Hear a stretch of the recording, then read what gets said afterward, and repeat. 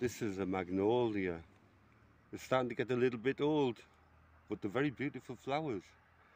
And it's one of the first flowers to ever exist in nature. And it still exists now. Very nice, aren't they? And there's one when it's closed before it opens.